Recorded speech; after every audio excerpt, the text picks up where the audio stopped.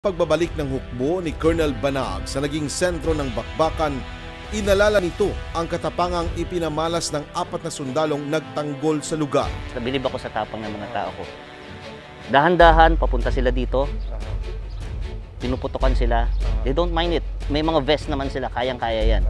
Nang dahil sa kanila na repel natin o na, napigilan natin ang pag-atake ng BIFF. Nang aming sadyain ang lokasyon, nananatiling nakakordon ang sinunog na sasakyan ng pulisya. Ayon sa ulat, lula ng sasakyan si Chief of Police na si Captain Israel Bayona bago ito tumakbo papunta sa likod ng simbahan. So, eto sir, nauna na ito dito. Standby or ito yung ginamit ni Chief of Police? Ginamit ni Chief of Police to, papunta dito. Kasi nga, Papunta prior to that, prior to that, nagkaroon na kami ng coordination. Nagpapatrol na kami, pati itong mga tangke na to. Pinasabihan ko sa mga staff ko, tulungan tayo dito sa, sa, sa mga simbahan habang mayroon pang ibang mga threat na nandoon. Laking pagtataka ni Colonel Banaag kung ang target ng BIFF ay ang militar. Bakit hindi ang detachment ang sinunog nito?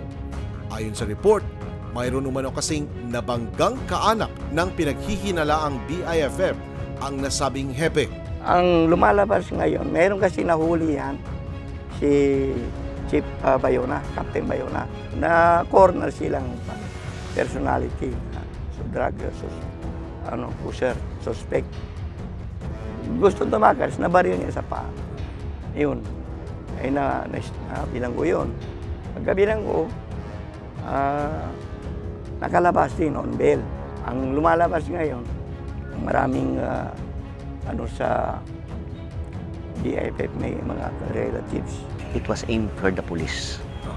Because uh, sabi ko nga po, kung na, na-aim, kung ang target nila ay yung military, yung kung katabi po na, na outpost po doon, dapat po yun ang sinunog. Kahalintulad ito sa tinitinang anggulo ng Philippine National Police. Sa inilabas nilang statement, maliban sa issue sa politika at paghihiganti sa pagkamatay ni BIFF member Abu Sufyan sa police operation sa Cotabato City noong December 1, posibleng ang pagkakaaresto ng Chief of Police sa dalawa nilang miyembro ang nagudyok sa BIFF na magasik ng gulo. Kaugnay nito, nakatakda namang magsampa ng criminal complaints ang pulisya laban sa dalawang leader at ilang miyembro ng BIFF. Magandang gabi, Pilipinas!